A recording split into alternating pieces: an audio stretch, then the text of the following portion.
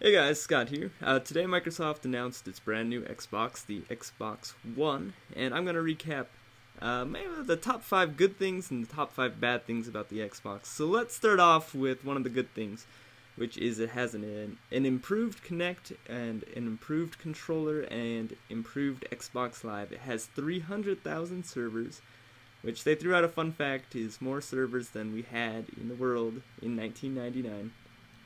Um, so the improved Kinect is always online. It's always listening to what you say, which is kind of creepy, but kind of cool.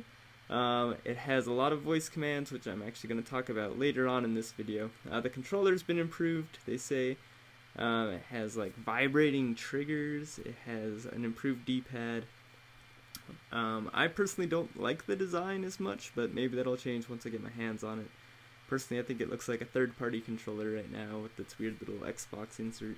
And some questions about that controller are the start and select buttons, or start and back, sorry, seem to have been removed with new buttons. One looks like an options button, one looks like, I don't know, it's two squares. I'm guessing it's a dashboard button. Um, I'm not sure if the Xbox guide button is still a thing. It looks like the the current button on the, the new controller is just a, a, a flat button that with that lights up maybe I don't know it doesn't even look like it has um, the uh, one two three four players on here so we'll see what that's all about. Now let's jump over into the bad category. Um, they did not talk about any extra peripherals uh, so no uh, surface tablet to go along with it.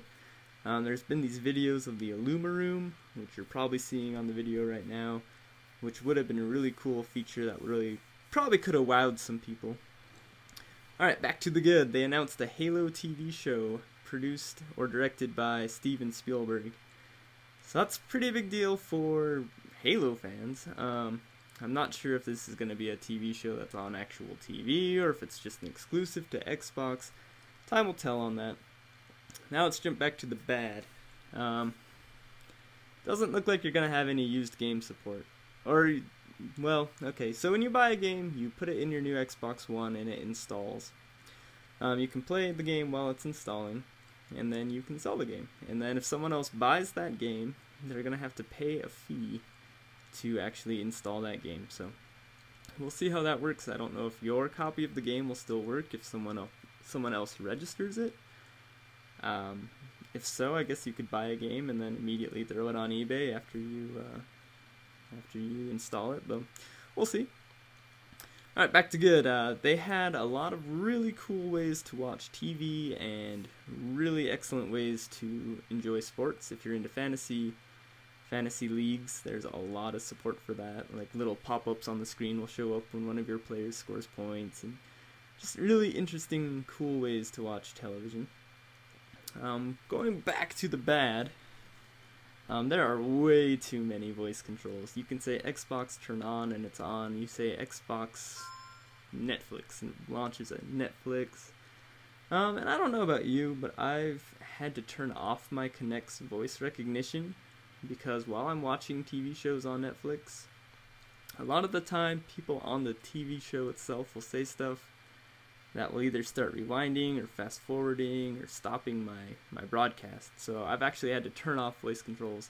So now I'm worried that if I'm playing a game and someone's talking about Xbox in the room next to me, or if something on my game happens to say something like Xbox turn off while I'm playing, I don't know, a really important boss fight or something like that, um, that I'm going to lose all my progress. So I'm not too excited for that. Um, back to the good. They announced that they are going to have, I believe they said 12, 12 new IPs uh, within the year of an Xbox One coming out. So finally, Xbox is getting some exclusives, and yeah, they've been kind of hurting for those lately.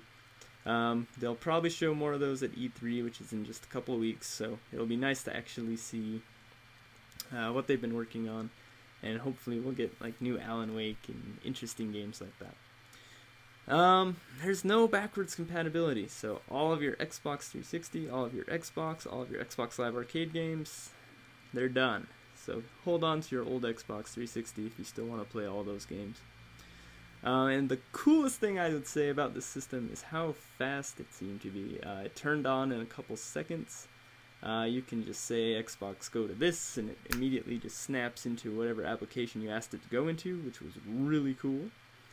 Um, they just pretty much on the demo just kept snapping through different applications. And you can also, if you're familiar with Windows 8, you can snap two applications side by side and have two of them running at the same time. So he had a Skype call going on while he was watching a movie or playing, watching sports and stuff like that, which is kind of cool.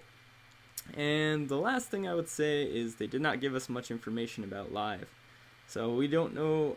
I think we're still going to have to pay for it.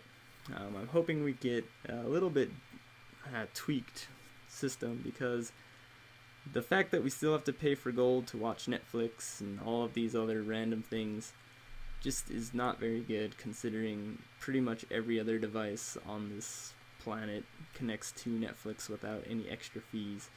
So there we have it. Uh, let me know what you think is the good and the bad. Um, if you and if you liked this video, please feel free to comment, like, and subscribe. I will see you guys next time. See you later, guys. Have a good one.